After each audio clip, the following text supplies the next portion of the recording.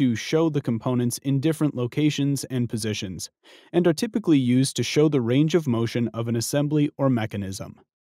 For example, you can check that the positions of components at certain constraint values meet all requirements. You can also check that you have enough clearance at different positions.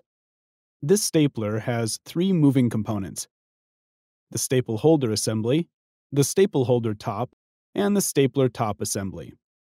The angles between the components change as you staple pages, and when you load staples. In this lesson, I'll show you how to use pos reps to show the components in the different positions.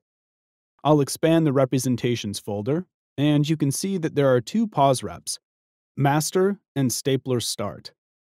Like other representations, master has the default settings. To activate the stapler start pos rep, I'll right-click and select Activate. The components immediately move to their new position until the bottom of the stapler holder touches the staple plate. When I expand the staple holder in the browser, notice that the stapler position constraint is in bold, indicating it has a value different than the master. I've also renamed the constraints that control the stapler positions so that I can easily see what each constraint does. Creating pos reps is simple and very similar to creating view reps. I'll create a new pos rep that shows the position of the stapler top assembly after it ejects a staple. The staple holder assembly and staple holder top will stay in place, but the stapler top will move. Since I just want to change the position of the stapler top, I'll create a new pos rep based on staple start. To do this, I'll right-click on staple start and select copy. Next, I'll change the name to staple-eject and activate it by double-clicking on it. When I expand the staple holder top component, there is an angle constraint called Eject Staples. When I click on it, the edit box doesn't display. This is because pos reps only temporarily change constraint values. When you switch to another pos rep, Inventor needs to retrieve the default constraint value, so you override the value locally instead of editing it globally. If I right-click in the browser, notice that some of the menu items have changed. For example, I can't edit a constraint. To change the position of the staple holder top, I'll click on Modify Override. Change the value to 0 degrees. And the top moves down. If I toggle between the two pos reps, you can see the change.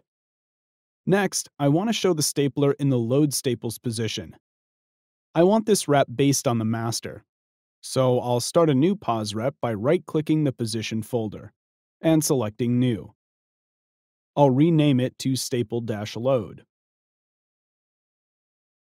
I don't know the exact value I want for the stapler position, so I need to move the top until I find an angle that looks good.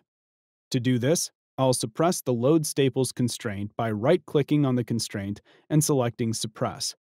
Now I can drag the top to a new position. Note the staple holder stays in position, and the stapler top and staple holder dash top move.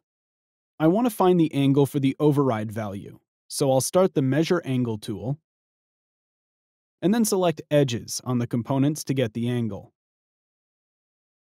I'll round this value up to 100 when I override the constraint.